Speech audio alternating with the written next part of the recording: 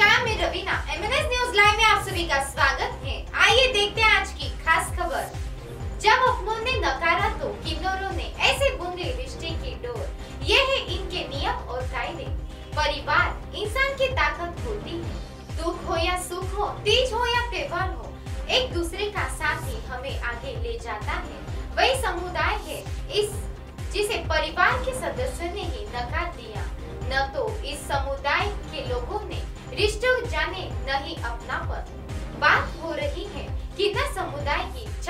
छत्तीसगढ़ की राजधानी के गजपारा स्थित देश बंधु स्कूल में संपन्न हुए महामंगला मुख्य किन्नर सम्मेलन में किन्नरों ने नए रिश्तों की रचना की है।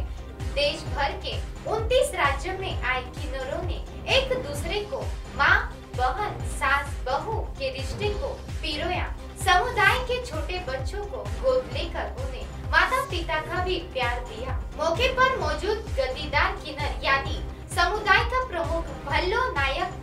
रिश्तों की जीवन भर निभाने की रस्म अदा की। तेरह साल की मुस्कान को नगीना ने गोद लिया, को नगीना ने गोद लिया। सम्मेलन के दौरान रायपुर की नगीना किन्नर ने गोद लिया है। अब वह उसके पालन पोषण और पढ़ाई लिखाई का जिम्मा उठा रही है। नगीना ने कहा कि वह मुस्कान को माता और पिता की तरह अच्छी परवरिश देना चाहती है। वो चाहती है कि मुस्कान पढ़ लिख कर अपने पैरों पर खड़ी हो जाए।